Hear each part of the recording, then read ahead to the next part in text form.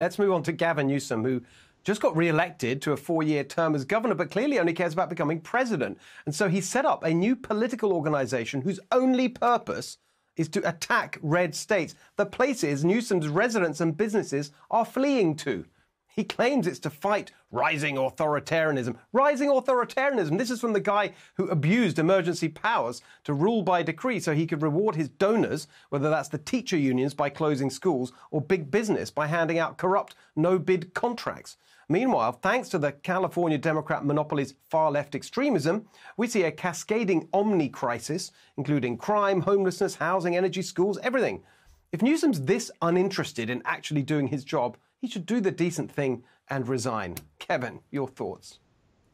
Well, actually, interestingly enough, he has done that on a temporary basis several times when he goes on vacations, either in Mexico or in red states. California had a red state travel ban that it looks like we're going to get rid of now because Newsom has been caught himself vacationing in Montana on several occasions. But uh, yes, I mean, when it comes to Gavin Newsom, the line between parody and reality has just vanished altogether. Uh, as you said, California had the single most draconian response uh, to COVID in the entire country. I actually sued him over it, and he said in court that a yes. state of emergency centralizes the state's powers in the hands of the governor, effectively abolishing uh, the other branches of government. But when it came to business shutdowns, church shutdowns, school shutdowns, when it came to mask mandates, vaccine mandates, vaccine passports, each and every step of the way, California had the highest level of government coercion and control. And so for him to now say that he's launching some crusade against rising authoritarianism, you just can't make this stuff up.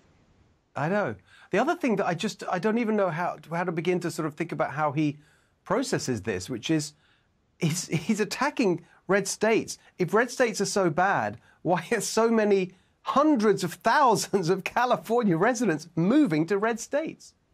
It's a great question. I mean, Newsom has pulled off this historic three-peat. What for three straight years, California leads the nation in one-way uh, U-Haul rentals. We just lost a seat in Congress because so many people uh, are leaving. And uh, you know, you look at what is happening to California. Just look at San Francisco. I mean, the San Francisco Chronicle uh, has an opinion piece, uh, an editorial, just from a couple days ago, saying that San Francisco is on the verge of collapse. Literally, uh, yes. the city has a two ninety yes. million dollar budget deficit. Uh, it's a dystopian landscape when you walk through uh, that city's downtown. And yet Newsom says time and again that this is his model for the nation. He says California is a model for the nation. And what you and I know, and anyone who's lived in our state knows, is that it's a model of failure. It's not a model for the nation, it's a warning to the nation. And uh, I think that, uh, you know, the more time Gavin Newsom spends uh, out visiting other states, the more uh, people are actually going to get that message.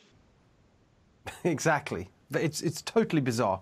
Um, anyway, he's doing it. Uh, we'll follow it. Kevin, great to see you. Thank you. Hey, Sean Hannity here. Hey, click here to subscribe to Fox News YouTube page and catch our hottest interviews and most compelling analysis. You will not get it anywhere else.